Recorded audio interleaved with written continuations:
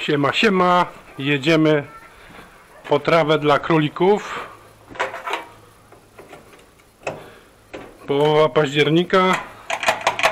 Prawdopodobnie jedna z ostatnich zielonek w tym roku.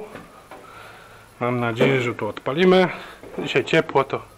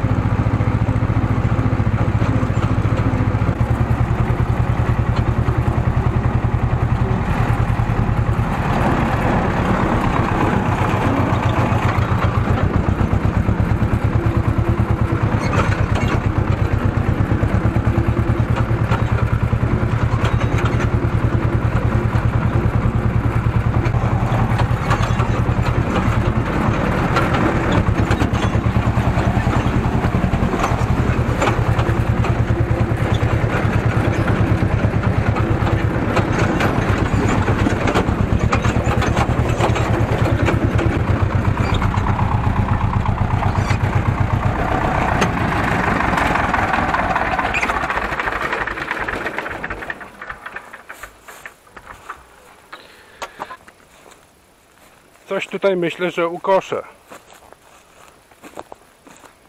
Tutaj może będziemy kosić, bo jest taka dosyć wysoka jeszcze. Troszkę ją przymroziło już widać, ale przeschła, bo były 3 dni bardzo ciepłe. Także mam nadzieję, że coś z tego będzie.